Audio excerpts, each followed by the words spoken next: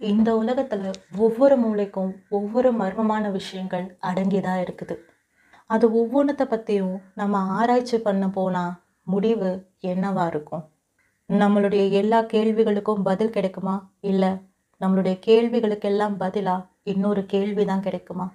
இந்த மாதிரி பல எண்ணங்களோட கேரள மாநிலத்தில் இருக்கிற பஞ்சவன் சோலை அப்படின்ற ஒரு மர்மமான கிராமத்தை பற்றி ஆராய்ச்சி பண்ணுறதுக்காக வினோத் அப்படின்றவர் அந்த கிராமத்துக்கு போகிறான் வினோத் ஒரு நல்ல கதாசிரியன். ஒரு முதன்மையான செய்தித்தாளில் எடிட்டராக வினோத் வேலை செஞ்சுக்கிட்டு இருக்கான். இந்த மாதிரி பழங்குடி இனத்தை பற்றியும் பழங்குடி மக்களுடைய நம்பிக்கைகளை பற்றியும் அவங்களுடைய செயல்பாடுகளை பற்றியும் ஒரு கட்டுரை எழுதுனா அது தனக்கு ஒரு நல்ல பேரையும் புகழையும் வாங்கி தரும்னு சொல்லிட்டு வினோத் நம்பினான். அதனால கேரள மாநிலத்தில் இருக்கிற பஞ்சவன் சோலை அப்படின்ற கிராமத்தை தேர்ந்தெடுத்து அந்த கிராமத்துக்கு ஒரு நாள் வினோத் அந்த மக்களுடைய பழக்க வழக்கங்களை ஆராய்ச்சி பண்ணுறதுக்காக போனான். முதல்ல இந்த விஷயத்த வினோத் தங்களுக்கு தெரிஞ்சவங்க கிட்ட சொல்லும்போது எல்லாரும் சொன்ன ஒரே விஷயம் நீ உன்னுடைய உயிரை பணைய வைக்கிற. தயவு செய்து எந்த காரணத்துக்காகவும் அந்த கிராமத்துக்கு நீ போகாத. மீறி போறினா திரும்ப நீ வர்றதும் வராமல் போகிறதும் அந்த கடவுள் கையில் தான் இருக்குதுன்னு சொல்லிட்டு பலரும் எச்சரிச்சாங்க. ஆனால் மூட நம்பிக்கைகள் மேலே கொஞ்சம் கூட நம்பிக்கை இல்லாத வினோத் இது எல்லாத்தையும் ஒரு கேலியாக நினச்சிக்கிட்டு அந்த கிராமத்துக்கு போகிறான் அவன் தன்னுடைய ஆராய்ச்சிகள் எல்லாம் ரொம்ப சுலபமாக முடிஞ்சிடும்னு நினச்சான். ஆனால் அவன் எதிர்பார்க்காத ஒரு விஷயம் அவனுக்காக அந்த இடத்துல காத்துக்கிட்டு இருந்துச்சு. அந்த கிராம மக்களுடைய உடை வழக்கமும் சரி பழக்க வழக்கமும் சரி ஒரு நவ நாகரிக மனுஷங்க மாதிரியே இல்லை. நாகரிகத்துல ரொம்பவே பிற்போக்கா அந்த கிராம மக்கள் இருந்தாங்க. அப்படி இருந்த கிராம மக்களுக்கு முதல் முறையா நவ நாகரிக ஆண் ஒருத்தர் தன்னுடைய கிராமத்துக்குள்ள வரும்போது ரொம்பவே விசித்திரமா வினோத் அவங்க எல்லாருமே பார்க்க ஆரம்பிச்சாங்க. இது வினோத்துக்கும் சரி ரொம்பவே அசௌகரியமா இருந்துச்சு. இருந்தாலும் பரவாயில்ல இந்த கிராமத்துடைய தலைவர்கிட்ட நம்ம போயிட்டு நடக்கிற விஷயத்த பத்தி சொல்லலாம்னு சொல்லிட்டு அந்த கிராமத்துடைய தலைவர்கிட்ட வினோத் போறான். வினோத் வந்த காரணத்தை முழுசா காது கொடுத்து கேட்ட அந்த கிராம தலைவர் ரொம்ப நேரம் ஒண்ணுமே பேசல.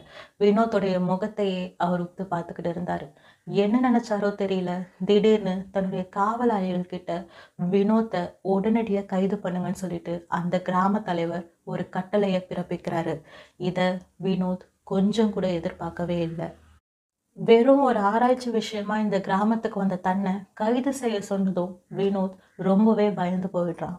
இருந்தாலும் தன்னுடைய நிலையிலிருந்து அவன் அந்த கிராம தலைவர்கிட்ட எவ்வளவோ விளக்கம் கொடுக்க முயற்சி பண்றான். ஆனா ஏதோ ஒரு காரணத்துக்காக அந்த கிராம தலைவர் தன்னுடைய முடிவை மாத்திக்கிற மாதிரியே இல்லை.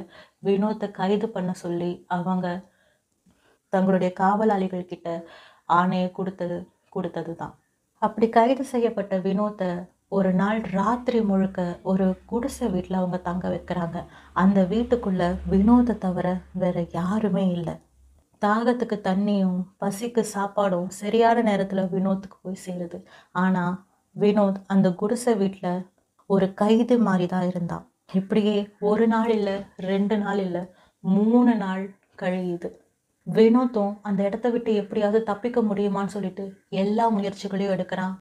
ஆனால் அவனுடைய கால்கள் சங்கிலியால் கட்டப்பட்ட நிலைமையில் இருக்குது. அதனாலேயே அவனால் தப்பிச்சு போக முடியல.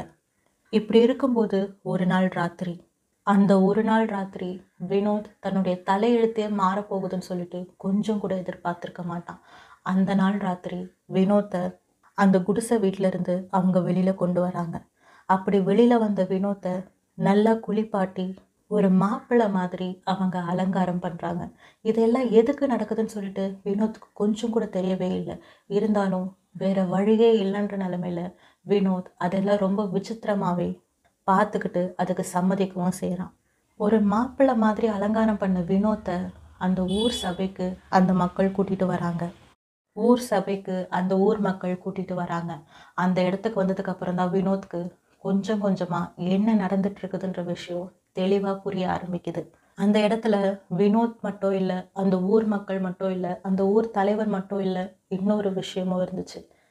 சுற்றி இருந்த அந்த கூட்டத்துக்கு நடுவில் ஒரு பொண்ணு உட்கார வைக்கப்பட்டிருந்தான் ஆனால் அது வெறும் பொண்ணு இல்லை ஒரு பொண்ணுடைய சடலம். இறந்து போன ஒரு பொண்ணுடைய உடம்ப அந்த ஊர் ஜனங்க அந்த இடத்துல உட்கார வச்சுருந்தாங்க மணப்பெண் கோலத்தில். வினோத்துக்கு இப்போதான் தனக்கே ஒரு மாப்பிள்ளை மாதிரி அலங்காரம் பண்ணி இந்த ஊர் மக்கள் இங்கே கூட்டிகிட்டு வந்திருக்காங்க. எதுக்காக மூணு நாள் தன்னை ஒரு குடிசை வீட்டில் அவங்க அடைச்சி வச்சிருந்தாங்கன்ற விஷயமே கொஞ்சம் கொஞ்சமாக புரிய ஆரம்பிக்குது. இதனால் பயந்து போன வினோத் அங்கேருந்து எப்படியாவது தப்பிக்க முடியுமான்னு சொல்லிட்டு எவ்வளோ முயற்சி பண்ணுறான் ஆனால் அவனுடைய முயற்சிகள் எல்லாமே வீணாக தான் போகுது. வினோத்தை கட்டாயப்படுத்தி அந்த ஊர் மக்களும் சரி அந்த ஊர் தலைவரும் சரி அந்த பெண்ணுடைய சடலத்தோட அவனுக்கு கல்யாணம் பண்ணி வைக்கிறாங்க. வேற வழியே இல்லாத நிலைமையில வினோத்தும் அந்த பெண்ணை கல்யாணமும் பண்ணிக்கிறான். ஆனா அந்த ஊர் மக்களுடைய அந்த கொடூரம் இதோட நிக்கல. கல்யாணம் மட்டும் இல்லை அதை தாண்டிய ஒரு வாழ்க்கைய அந்த பெணத்தோட வினோத் வாழணும்னு சொல்லிட்டு அந்த ஊர் மக்கள் ஒரு முடிவுக்கு வராங்க. ஒரு பொண்ணு கல்யாணம் ஆகிறதுக்கு முன்னாடியே இறந்து போயிடுறா அப்படின்னா அவளுடைய ஆத்மா எந்த காரணத்துக்காகவும் குறிப்பாக கல்யாணம் ஆகாமல் நம்ம இறந்து போயிட்டோமேன்னு சொல்லிட்டு ஒரு காரணத்துக்காக பிரேதாத்மாவா அலையக்கூடாது அப்படின்றதுனால இறந்து போன அந்த சடலத்துக்கு கல்யாணம் பண்ண வச்சு அதுக்கு அடுத்த வாழ்க்கையை அந்த சடலத்தோட ஒருத்தன் வாழணும் அப்படின்னு சொல்லிட்டு அந்த ஊர் மக்கள் காலகாலமாக இந்த சடங்கை செஞ்சுக்கிட்டு வராங்க. அப்படி அந்த ஊரில் ஒரு வயசு பொண்ணு இறந்ததுக்கு அப்புறமா என்ன பண்ணுறதுன்னு சொல்லிட்டு அவங்க யோசிச்சுட்டு இருக்கும்போது தான் வினோத் அந்த இடத்துக்கு வந்து சேர்ந்துருக்கான். அவங்க இந்த வாய்ப்பை பயன்படுத்தியிருக்காங்க. கல்யாணம் முடிச்ச கையோட அந்த பெண்ணோட சடலத்தையும் வினோத்தையும் ஒரு குடிசை வீட்டில் அந்த ஊர் தலைவர் இருக்க வைக்கிறாரு. அது மட்டும் இல்லாமல் இன்னைக்கு ராத்திரி முழுக்க நீ இந்த பொண்ணோட வாழ்ந்தாகணும் அப்படின்ற ஒரு கட்டளையையும் அந்த ஊர் தலைவர் பிறப்பிக்கிறாரு. அப்படி பண்ணால் மட்டும்தான் நீ மறுநாள் காலையில் இந்த ஊரை விட்டு உயிரோடு போக முடியும்னு சொல்லிட்டு வினோத்தை அவர் ரொம்பவே பயமுறுத்துறாரு. வேற வழியே இல்லாத வினோத் இதுக்கு சம்மதிக்கிறான். அந்த அறைக்குள்ள அந்த பிணத்தோட வினோத் பயந்துக்கிட்டே உட்காந்துட்டு இருக்கான். அடுத்து என்ன பண்ணுறது எப்படி இங்கேருந்து தப்பிக்கிறதுன்னு சொல்லிட்டு அவனுக்கு தெரியவே இல்லை. வினோத் இந்த விஷயத்தில் போய் சொல்லி தப்பிக்க முடியாதுன்னு சொல்லிட்டு அவனுடைய உடம்பு முழுக்க சந்தனத்தையும் அவங்க பூசி விட்டுருக்காங்க. தன்னுடைய தலைவிதி இப்படி மாறிடுச்சுன்னு சொல்லிட்டு வினோத் உட்காந்து அழுதுகிட்டு இருக்கும்போது அவனுக்கு ஒரு யோசனை தோணுது. பேசாமல் நம்ம உடம்புல இருக்க சந்தனத்தை எடுத்து இந்த பெண்ணுடைய உடம்புல தடவிட்டு மறுநாள் காலையில் இவங்க கிட்ட நாடகம் ஆடிட்டு இங்கேருந்து தப்பிச்சிடலான்னு சொல்லிட்டு வினோத் ஒரு முடிவுக்கு வரான். அப்படி தன்னுடைய உடம்புல இருக்க சந்தனத்தை எடுத்து அந்த பொண்ணுடைய உடம்புல அவன் தடவ போகும்போது ஒரு விஷயம் நடக்குது. இறந்து போய் சடலமாக படுத்திருந்த அந்த பொண்ணுடைய கண்கள் திறக்குது. அந்த கண்கள் ரத்த சிவப்பு நிறத்தில் இருக்குது. கருவழிகள் எல்லாம் வெளிரி போய் ஒரு கோரமான ஒரு உருவத்தில் அந்த பொண்ணு எழுந்து அப்படியே உட்கார்றா. அப்படி உட்காஞ்சவ நீ தான் என்னை கல்யாணம் பண்ணிக்கிட்டியான்னு சொல்லிட்டு ஒரு கேள்வியை வினோத்தை பார்த்து கேட்குறா வினோத் அதை பார்த்து மிரண்டு போயிடுறான். அவனுடைய அலறல் சத்தம் மட்டும்தான் அந்த கிராம மக்களுக்கு கேட்குது அங்கே இருந்த மக்கள் எல்லாரும் என்ன ஆச்சோ ஏதாச்சுன்னு சொல்லிட்டு பயந்துக்கிட்டு அந்த இடத்துக்கு ஓடி வந்து பார்க்குறாங்க. ஆனால் அந்த ஊர் தலைவர் என்ன ஆனாலும் சரி காலையில் வரைக்கும் இந்த குடிசையுடைய கதவுகளை திறக்கக்கூடாதுன்னு சொல்லிட்டு அந்த ஊர் மக்களுக்கு உத்தரவு போட்டார். அதே மாதிரி அன்னையோட ராத்திரி கழிஞ்சது மறுநாள் சூரிய உதயம் உண்டாச்சு. அப்படி மறுநாள் வந்ததுக்கப்புறமா அந்த குடிசையுடைய கதவுகளை அவங்க திறந்து பார்க்கும்போது எல்லாருமே மிரண்டு போயிருந்தாங்க.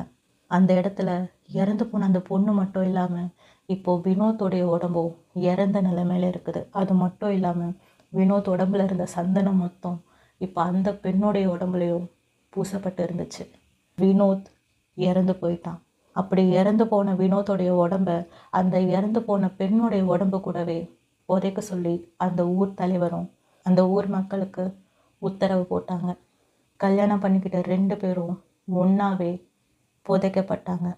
தன்னுடைய வாழ்க்கையே உச்சத்துக்கு போகும்னு சொல்லிட்டு ஒரு நம்பிக்கையோட அந்த கிராமத்துக்கு வந்த வினோத்துக்கு கடைசியில மரணம் தான் பரிசாக கிடச்சிது. மீண்டும் அடுத்த ஒரு கதையில் சந்திக்கும் வரை விடைபெறுகிறேன்.